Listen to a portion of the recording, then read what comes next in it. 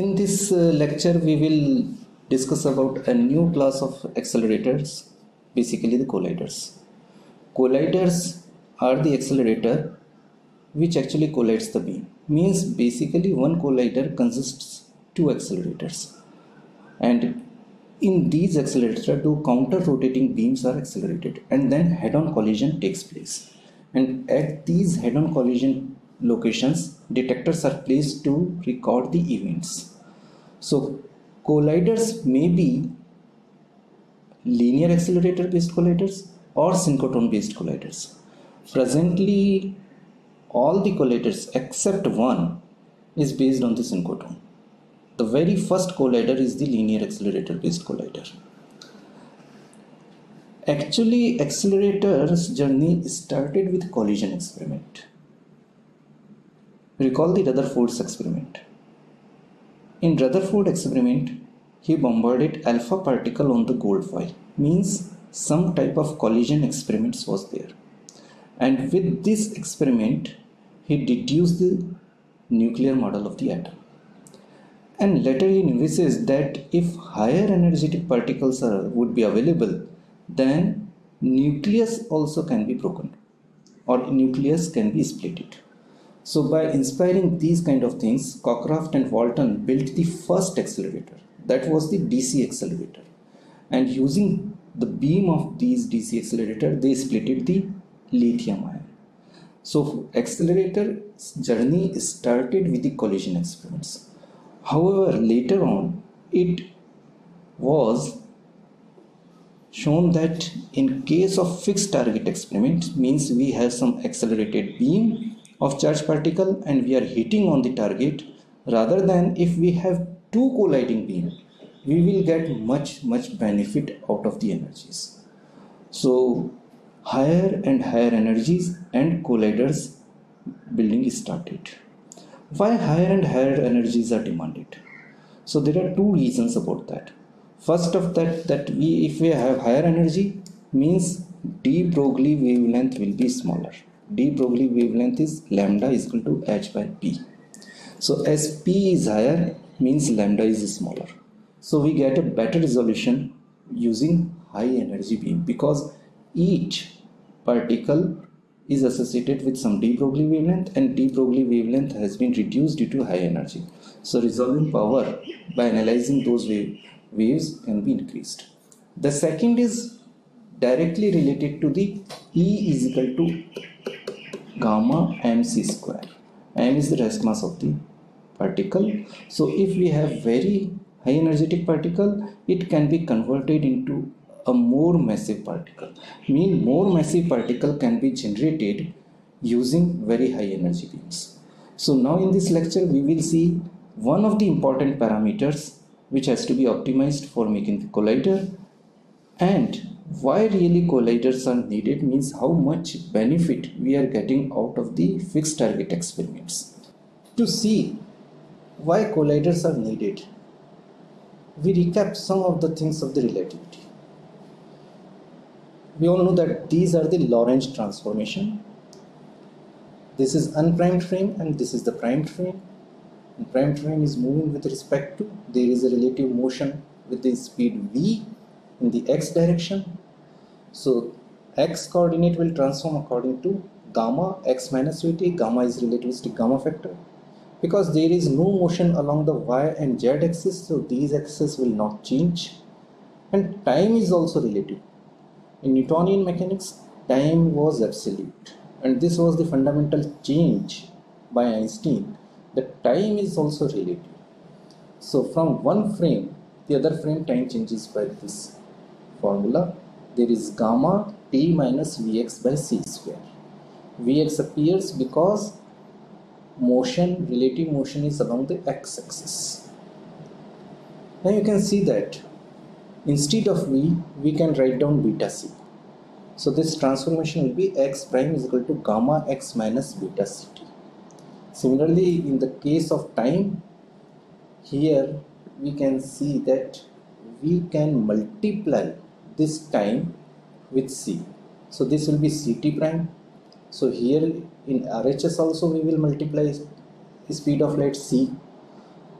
And here instead of square this will be c because one multiplication of c is there. And this will ct prime is equal to gamma ct again we will write v by c as a beta. This v by c as a beta so now you can see that transformation of x in this new notation is similar to the transformation of ct prime. So ct prime can be used as the fourth coordinate. And in this fashion we can make a four dimensional space in which one dimension is by the ct prime a ct or ct prime so we can make three dimensional instead of three dimensional vector four dimensional vector in space time so now we take x0 as ct x1 is equal to x x2 is equal to y and x3 is equal to z. So above equations can be written down as x0 prime is equal to gamma x0 minus beta x1 x1 this is the relation we obtained from here because x0 is ct so at the place of ct prime we have written x0 prime here it is ct so this will be x0 and x will be written as x1 similarly this equation will be written down as x1 prime is equal to gamma x minus beta x0 these two relations will be there for the y and z. So in relativity we can form a 4 vector. Relativity can be understood without going into the 4 vectors. However, 4 vectors provide a powerful way of analyzing some problems and it also opens the way for understanding the GTR.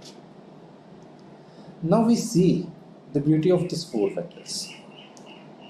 If we multiply these four vectors together, we get c square t square minus x square minus y square minus z square. There is one rule that you have to put minus sign before the space-like vectors, space-like components, components, and time-like component will have positive sign.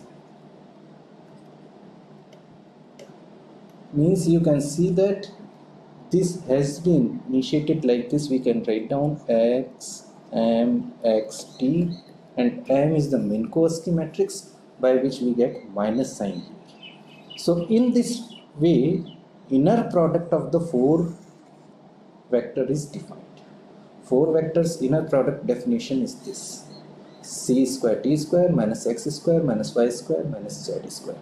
Any quantity which can be represented by four vectors in the relativity will have this formulation for their inner product. Now, what, what is the beauty of this inner product?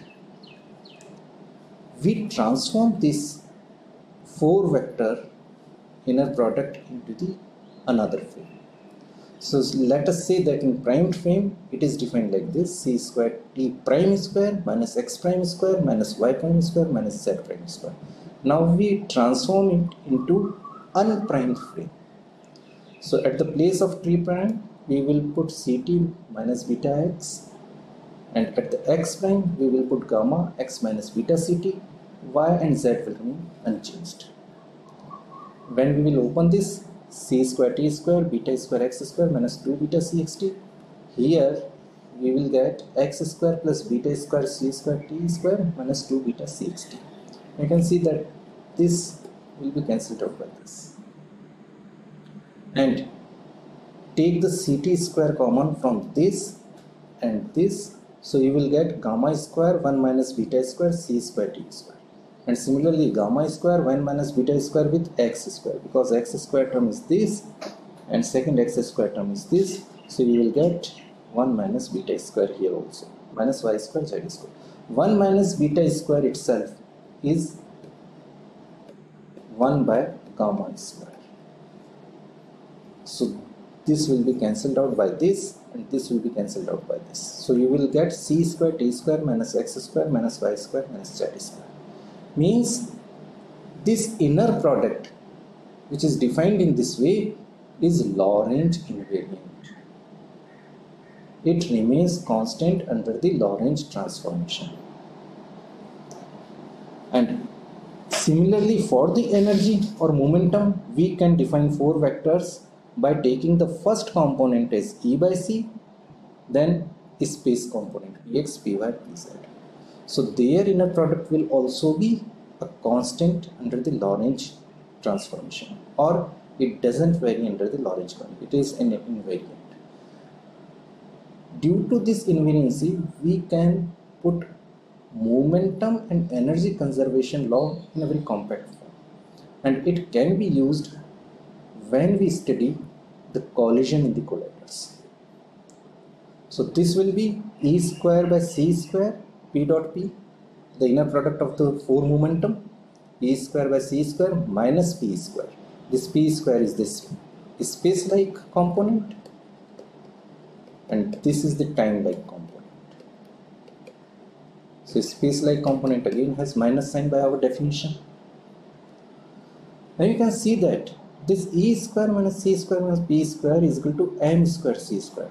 Because we have e square is equal to c square p square plus m square c4 so this quantity becomes m square c square. And m is the rest mass of the particle. It is invariant. So this quantity is invariant.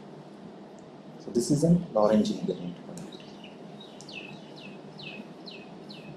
now in the beginning studies were carried out using the bombardment of high energetic particles on the fixed target like the Rutherford. Rutherford also bombarded particles on the fixed target.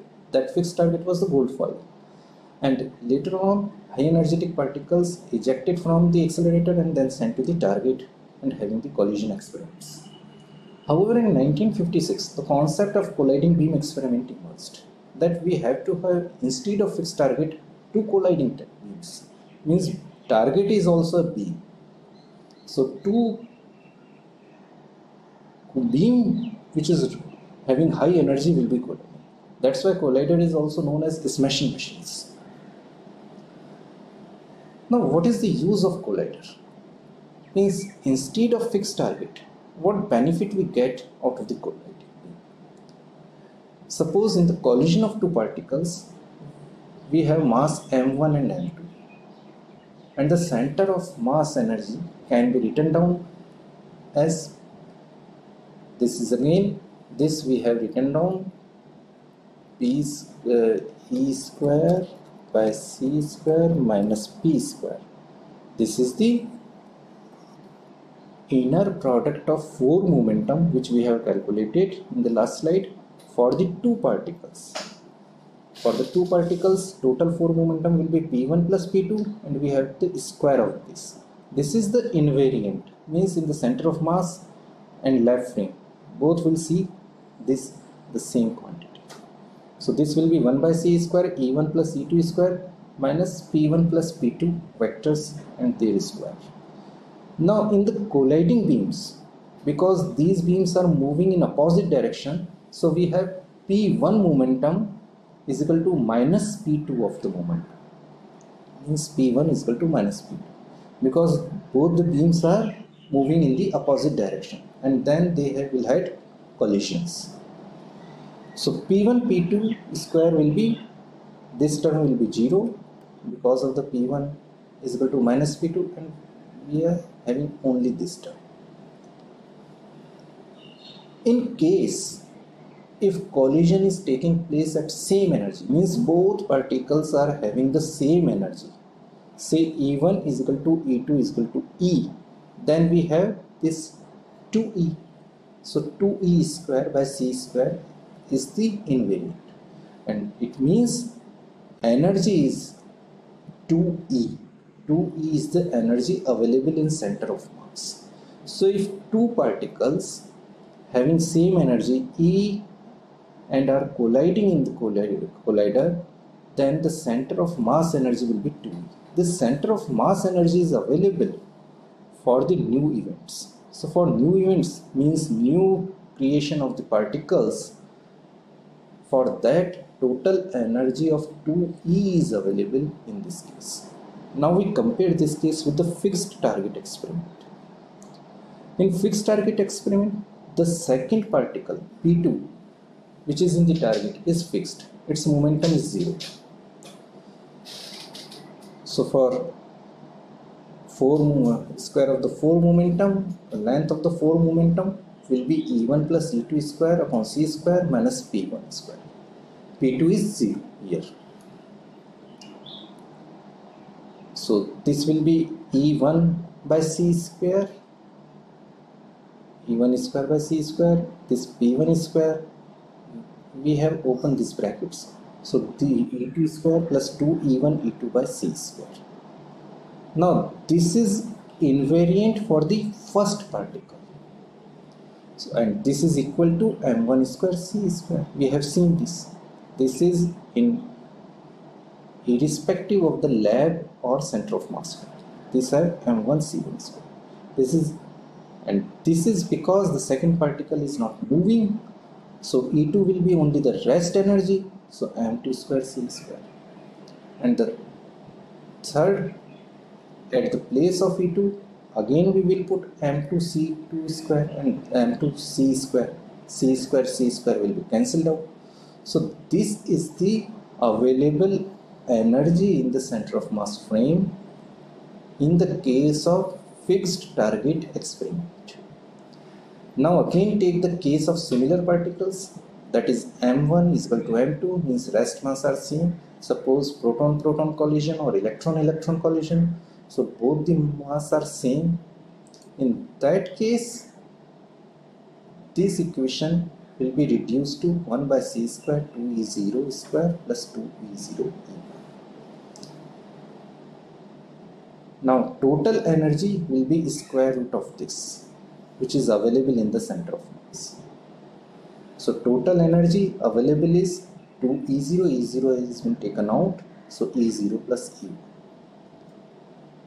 So in the case of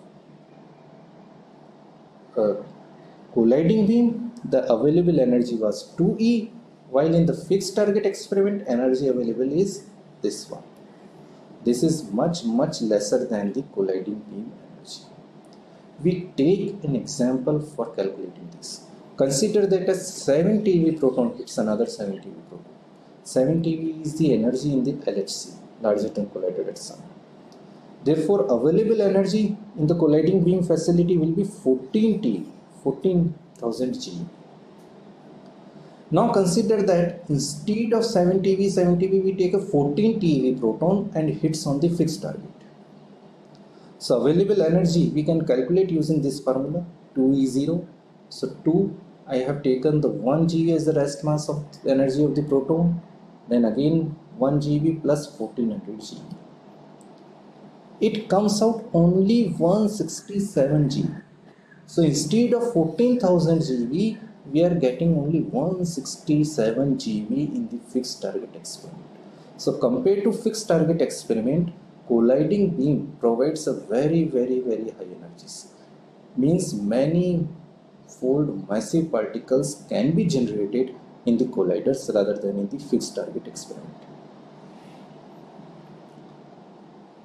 there is one comparison in this table suppose proton and proton hits with 7000 GeV 7 TeV which was the above ex uh, example so in the center of mass 14000 GeV is available and in the fixed target experiment it is only 114 GeV here we have increased the energy to 14 TeV of the single proton here it is calculated for the 7 TeV Suppose 100 GeV electron impinges on the 100 GeV electrons. So in center of mass in the colliding beam facility 200 GeV will be available. While in the fixed target experiment only 0.32 GeV will be available. And if proton hits the electron, one at the 30 GeV and another at the 20 GeV, these are the numbers closely of the HERA, HERA collider in the Germany. So center of mass energy will be available as 235 GeV in the case of colliding beam and in the case of fixed target experiment this will be only 7.5 GeV. One should go through this reference, it beautifully describe these things.